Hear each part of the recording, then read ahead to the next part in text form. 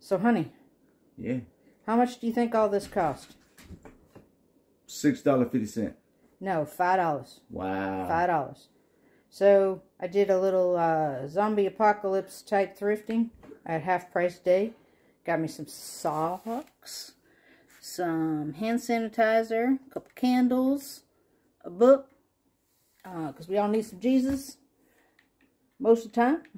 Got pajamas, a hat, a sheet, a, another set of pajamas, and a project with that with that little uh, frame right there. So hope y'all are taking care and staying warm and safe, and we'll talk at you soon.